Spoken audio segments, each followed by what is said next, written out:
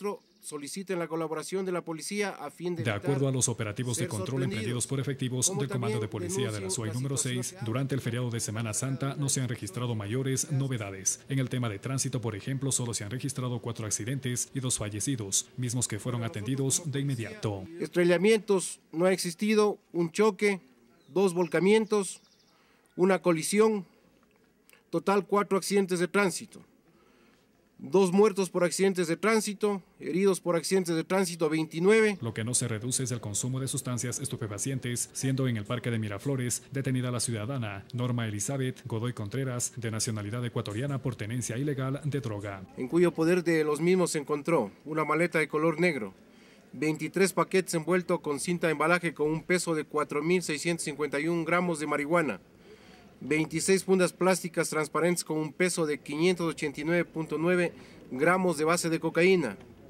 10 fundas plásticas transparentes con un peso de 78.9 gramos de clorhidrato de cocaína. En el sector de la Feria Libre de igual manera se procedió a la detención de los ciudadanos Luis Alberto Brito Ávila, Elsa Lucía Pérez y Berta Patricia Yunga por portar 21.9 gramos de cocaína. A los cuales se les encontró 21.9 gramos de cocaína cuando iban a ser expendidos a los diferentes consumidores. Durante la semana personal de la Unidad Técnica de Control de Armas y el Departamento de Control y Supervisión de Compañías de Seguridad Privada, procedió al decomiso de varias armas que no justificaban su legal tenencia. 12 revólveres de fabricación artesanal, dos pistolas marca Taurus de fabricación brasileña, ocho chalecos antibalas, dos pares de botas, dos chompas, un overol, cinco uniformes y diez gorras.